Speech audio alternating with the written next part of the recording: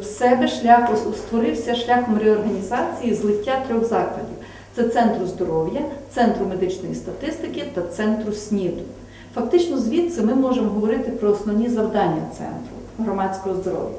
Але якщо говорити про систему громадського здоров'я, чим вона відрізняється від охорони здоров'я, що вона представляє собою?